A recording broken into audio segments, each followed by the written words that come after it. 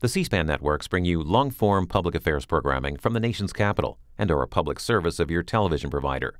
C SPAN, created by cable. I'd like to introduce my uh, husband, George Akerlof, and my sister in law, Allison Brooks, and um, my friend and a former San Francisco Fed director, Carla Chambers, who are with me today. Chairman Johnson, Senator Crapo, and members of the committee, Thank you for this opportunity to appear before you today. It's been a privilege for me to serve the Federal Reserve at different times and in different roles over the past 36 years, and an honor to be nominated by the President to lead the Fed as chair of the Board of Governors. I approach this task with a clear understanding that the Congress has entrusted the Federal Reserve with great responsibilities.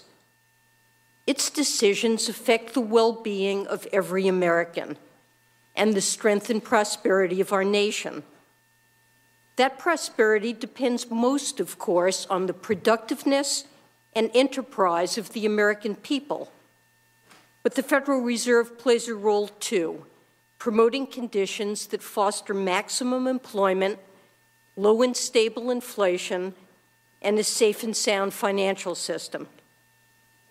The past six years have been challenging for our nation and difficult for many Americans. We endured the worst financial crisis and deepest recession since the Great Depression. The effects were severe, but they could have been far worse. Working together, government leaders confronted these challenges and successfully contained the crisis. Under the wise and skilled leadership of Chairman Bernanke, the Fed helped stabilize the financial system, arrest the steep fall in the economy, and restart growth. Today, the economy is significantly stronger and continues to improve. The private sector has created 7.8 million jobs since the post crisis low for employment in 2010. Housing, which was at the center of the crisis, seems to have turned a corner. Construction, home prices, and sales are up significantly. The auto industry has made an impressive comeback, with domestic production and sales back to near their pre crisis levels. We've made good progress, but we have further to go to regain the ground lost in the crisis and the recession. Unemployment is down from a peak of 10%, but at 7.3% in October, it is still too high, reflecting a labor market and economy performing far short of their potential. At the same time, inflation is running below the Federal Reserve's goal of 2% and is expected to continue to do so for some time. For these reasons, the Federal Reserve is using its monetary policy tools to promote a more robust recovery. A strong recovery will ultimately enable the Fed to reduce its monetary accommodation and its reliance on unconventional policy tools such as asset purchases. I believe that supporting the recovery today is the surest path to returning to a more normal approach to monetary policy. In the past two decades, and especially under Chairman Bernanke, the Federal Reserve has provided more and clearer information about its goals like the chairman, I strongly believe that monetary policy is most effective when the public understands what the Fed is trying to do and how it plans to do it. At the request of Chairman Bernanke, I led the effort to adopt a statement of the Federal Open Market Committee's longer run objectives, including a 2% goal for inflation. I believe this statement has sent a clear and powerful message about the FOMC's commitment to its goals and has helped anchor the public's expectations that inflation will remain low and stable in the future. In this and many other ways, the Federal Reserve has become a more open and transparent institution.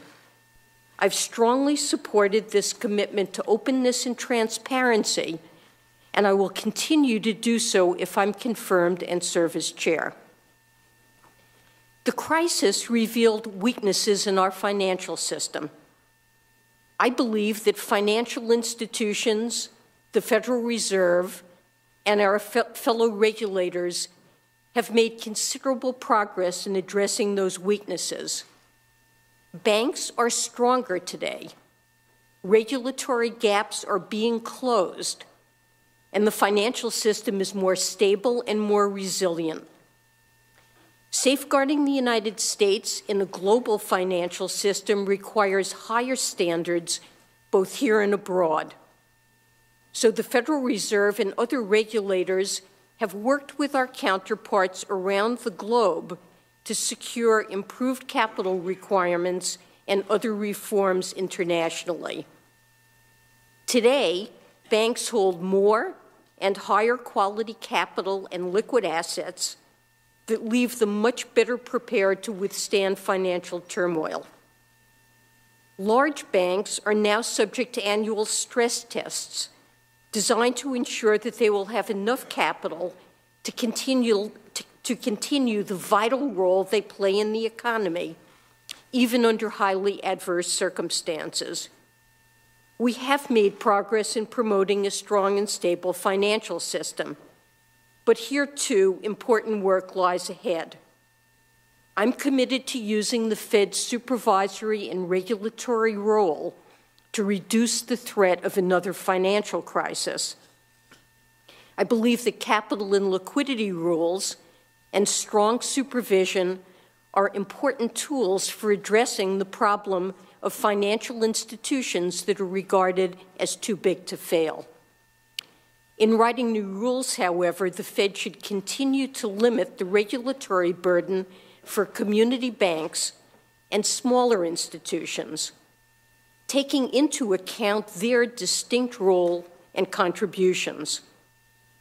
Overall, the Federal Reserve has sharpened its focus on financial stability and is taking that goal into consideration when carrying out its responsibilities for monetary policy. I support these developments and pledge, if confirmed, to continue them.